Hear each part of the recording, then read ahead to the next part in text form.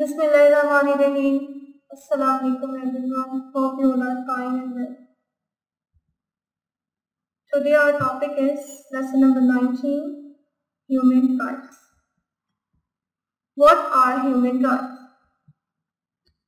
All human beings are born with some basic freedoms, rights which to allow them to live their lives in a certain way.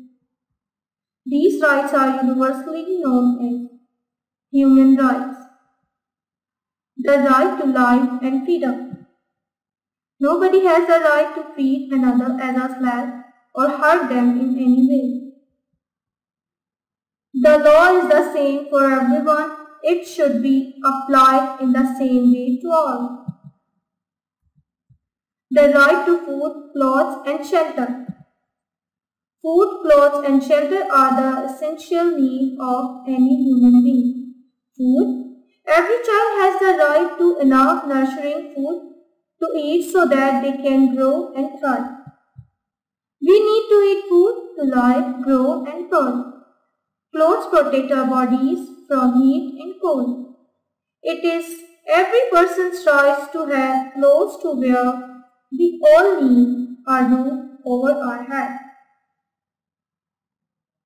Our home shelter us and protect us not only from the wind, rain, heat and cold but also from physical harm or danger.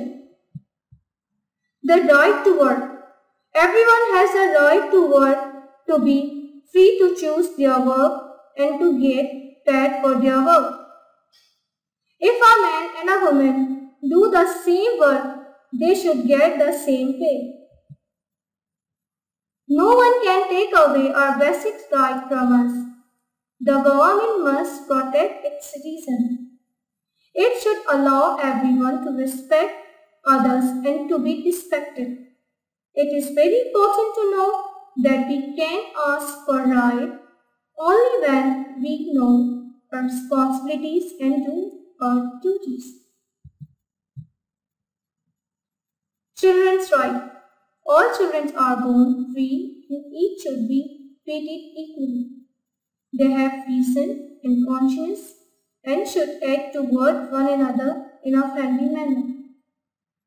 The right to be healthy, the right to develop our personality, the right to an education, the right to relax and play, the right to a voice, the right to be loved. All human beings need affection, love and understanding. Children have a right to be loved and cared for. Love gives us a sense of security, confidence and happiness. The right to education. Every child, girl or boy has the right to go to school and receive free education. At school, they should be able to develop all their talent and should be taught to get on with others, whatever their race, religion or the country they come from. Every child, girl or boy should be given an equal chance to be prepared for the life ahead. However, a child should not be forced to study all the time.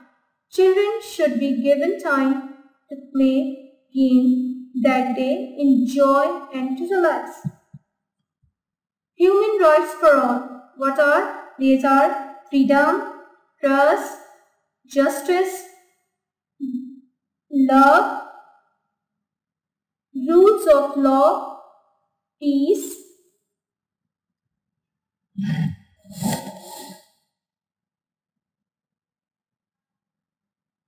prosperity, dignity, equality. Thanks for listening. Love.